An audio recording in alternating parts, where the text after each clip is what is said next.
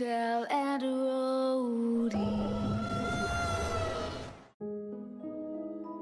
Fala aí galera, beleza? Quem fala aqui com vocês é o Max E galera, é o seguinte, estamos aqui novamente para falarmos um pouco mais sobre Resident Evil 7 Dessa vez, nós iremos abordar um tema que nós já falamos em um outro vídeo aqui no canal anteriormente Sobre a possibilidade de nós controlarmos o mesmo personagem do teaser jogável no jogo full quando ele for lançado. Inclusive nesse vídeo nós fizemos até uma cronologia dos acontecimentos entre o teaser e o jogo full foi bem interessante e eu vou deixar o link desse vídeo aqui na descrição. O que acontece é que a Capcom agora meio que confirmou essa nossa tese em um comunicado à imprensa. Anteriormente, o diretor e o produtor do Resident Evil 7, que o diretor é o Kochi Nakanichi e o produtor Masatika Kawata. Nossa, cara, falei o nome dos caras em japonês, que difícil. Eles disseram e deixaram bem claro de que a demo não faz parte do jogo principal, mas prestem atenção, galera. O que eles quiseram falar com isso é que, de fato, o conteúdo da demo, aquela casa, aquele gameplay que nós tivemos na demo, não fará parte do jogo principal. Mas até então eles ainda não tinham dito se realmente terá algum um link entre a parte da demo e o jogo principal e agora eles esclareceram isso galera e falaram que sim, será linkado a história da demo com o jogo principal. E isso a gente já tinha falado nos vídeos anteriores e agora está se confirmando. Preste atenção no que eles falaram. Resident Evil 7 Teaser Beginning Hour mostra os eventos que levam ao jogo principal pau, galera. Então, aquela cronologia que a gente tinha montado de que o Jack vai dar aquele soco na nossa cara na hora que a gente tá tentando sair, né? Que eu já tô de saco cheio de tomar aquele soco já, já tô com vontade de matar aquele desgraçado. E aí a gente tinha montado aquela cronologia que ele daria o soco e aquela cena do trailer, ele nos arrastando pra mansão, realmente acaba se confirmando. E tem outro trecho interessante aqui, galera. Olha só a descrição da demo que ele dá. Nesta nova demonstração, teaser, o jogador desperta no interior de uma cabana, ele se refere àquela casa como uma cabana em ruínas, que faz parte de uma ameaçadora mansão em meio a uma plantação. Ou seja, galera, a casa em que nós jogamos a demo faz parte da propriedade onde o jogo full vai se passar. Nós já vivenciamos isso no Resident Evil 1, no qual nós tínhamos lá a mansão principal, aquele trecho da mansão principal, mas também nós tínhamos uma área externa que nos dava acesso a uma outra pequena casa, uma outra pequena construção, e isso é comum em grandes mansões, em grandes propriedades, ter outras casas, a casa do caseiro ou casas de empregados ao redor. Então, galera, imaginem só que aquela casa no qual se passa a demo, que até os caras se referem ali como uma cabana, né? No, no, pro, pro padrão Brasil, aquilo ali é quase uma mansão, mas beleza. Para os gringos, aquilo ali é uma casa humilde, então eles se referem ali que aquela casa ela faz parte da propriedade da mansão que fica em meio a uma plantação. Nós já vimos anteriormente também naquele jornal que fica em cima da mesa, eu já fiz análise para vocês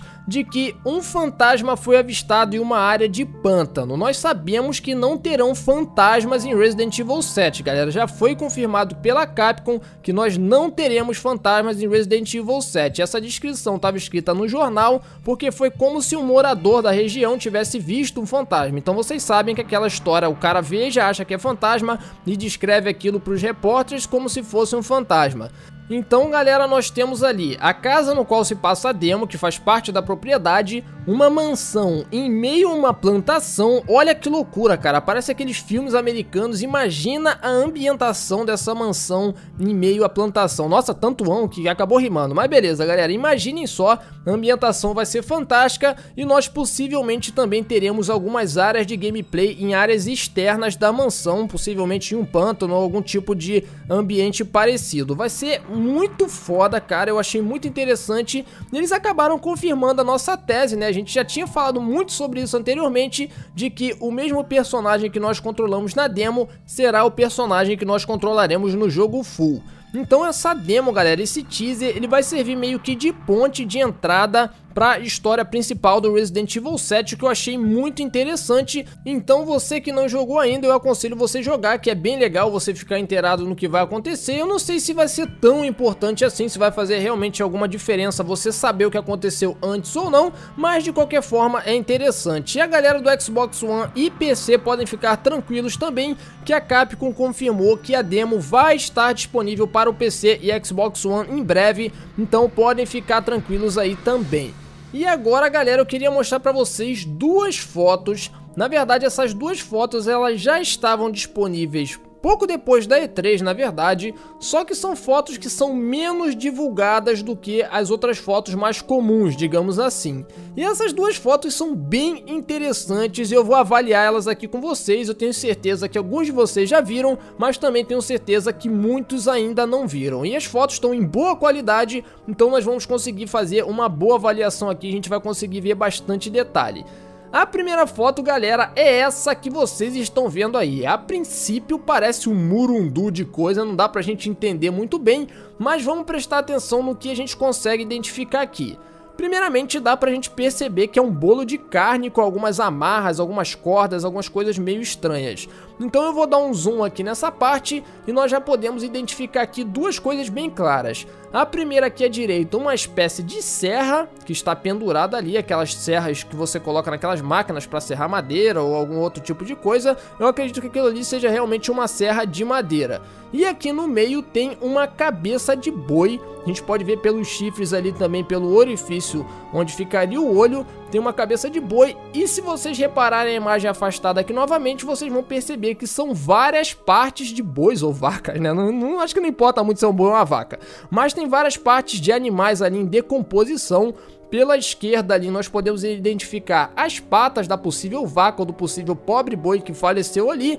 E galera, essa é uma imagem bem perturbadora. A gente pode perceber também que está do lado de fora pela vegetação que tem ao redor da área. E eu fiz um esquema aqui, galera. Eu coloquei a foto no Photoshop, dei uma clareada, tentei fazer com que as sombras ficassem mais em evidência, também melhorei os contrastes, e esse foi o resultado para a gente tentar ver se tinha alguma coisa a mais. Eu não consegui identificar nenhuma peça-chave, mas dá pra gente ver melhor um pouco as formas ali dos ossos. Na parte de baixo também a gente consegue identificar uns ossos mais diferenciados, umas patas também, e realmente, galera, é uma imagem bem perturbadora. Eu acredito que nós iremos nos deparar com várias cenas similares a essa, tendo em vista aquele monte de carne, aqueles animais mortos, aquele monte de sangue, aquelas bolsas estranhas que nós encontramos pela demo. Então, galera, se preparem para ver coisas muito bizarras em Resident Evil 7.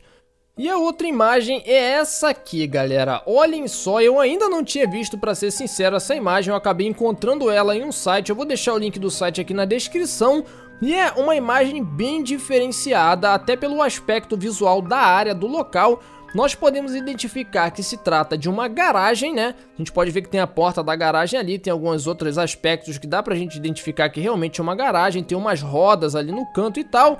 E aí, galera, tem duas coisas muito, muito interessantes. Primeiramente, é o carro de polícia que está parado do lado de fora. A gente pode ver que o giroscópio dele está ligado. Significa que ou ele foi deixado ali há pouco tempo, ou então que ainda tem alguma pessoa no interior do carro. E uma outra coisa interessante é essa silhueta de uma pessoa que está logo aqui à frente, mais próximo da câmera, e se a gente perceber, galera, eu não sei se eu tô viajando já, já tô querendo ver coisas, mas pela posição, pelo jeito que ele tá parado ali, o pé esquerdo tá meio torto, o pé direito tá virado pra frente, a mão do lado esquerdo também tá meio inerte, assim, meio jogada, eu tô achando que esse cara aí é um zumbi, galera. O que, que vocês acham? É um zumbi ou não é? Não sei, não sei, mas eu fiz o seguinte, eu fiz a mesma coisa da foto anterior, eu dei uma boa clareada no cenário, infelizmente a quantidade de luz natural ali que já estava incidindo nos objetos na foto não deu para clarear demais, mas a gente consegue ver a mão que eu estava falando ali, pelo menos um pouco da silhueta da mão, vocês podem ver que ela está realmente jogada para baixo e a mão que seria ali do lado direito está um pouco para frente, realmente não dá para saber, eu acho que realmente eu tô viajando, eu tô querendo que, que tenha zumbi né galera, Capcom já falou que vai ter combate e eu quero dar uma estecada na cabeça do zumbi. Eu tô achando que isso aqui é um zumbi e que lá dentro daquele carro tem algum militar, algum policial, o que reforça aquela nossa outra tese do carro. Vou pedir para vocês que se vocês não viram outro vídeo anterior, eu vou deixar o link aqui na descrição que nós também temos uma teoria, uma tese sobre o carro e aquele outro personagem que aparece no carro e também aquele outro que aparece na janela que parece ser um militar. Galera, os mistérios estão aumentando, tá ficando cada vez mais legal isso aqui. Eu acho muito interessante essa mística, esses mistérios que estão envolvendo Resident Evil 7 e agora nos resta esperar por mais novidades. Mas é isso aí, galera, tudo que sair de novo sobre Resident Evil 7 eu vou trazer aqui no canal para vocês, então fiquem ligados e mais uma vez, muito obrigado por vocês terem assistido, o feedback de vocês é extremamente importante. Não esqueçam de deixar aqui nos comentários as teorias e as opiniões de vocês. Também não esqueçam de deixar o seu like e até a próxima aí. Valeu!